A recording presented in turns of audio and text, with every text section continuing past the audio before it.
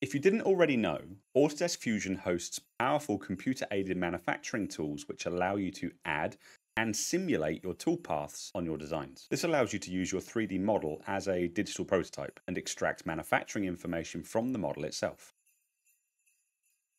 Within this toolset, we have the ability to view and simulate individual toolpaths within the software.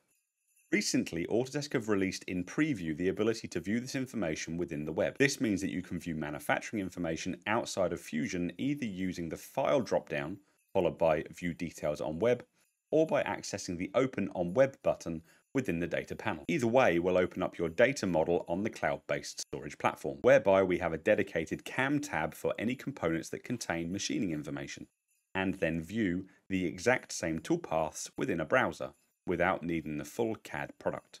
For a machinist to view these without having to go into the CAD environment, fantastic.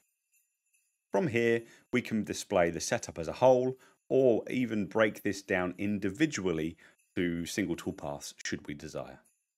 Viewing toolpaths and machining information inside of Fusion has never been easier. If you've enjoyed this video, then please give us a like, give us a follow. If you're watching on YouTube, subscribe um, for more Christmassy CAD based content.